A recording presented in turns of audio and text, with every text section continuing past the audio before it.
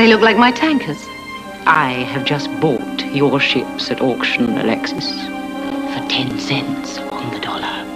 I don't believe it. You once asked me what I wanted from you, and I said, everything you've got. Let's consider this the second installment, Alexis.